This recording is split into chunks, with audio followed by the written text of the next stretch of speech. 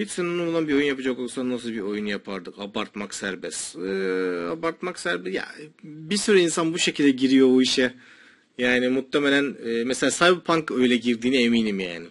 Bütçe sıkıntınız yok. Kafanıza göre ne yapmak istiyorsanız yapın deyip ondan sonra bir yerde bir sıkıntı çıkıyor. Ne benim yapacağım oyunda bir güç fantezisi olur tabii ki. Bir güç fantezisi oyunu yapmak isterdim. Birden fazla karakteri kontrol edebildiğim bir güç fantezisi oyunu böyle açık Mantıklı. dünya kocaman falan. Fethi Uçar hoş geldin teşekkür ediyorum. Ama açık dünya dediğim böyle her köşesinde ayrı bir detayın olduğu türden açık dünyalardan bahsediyorum. Ubisoft açık dünyası gibi değil yani.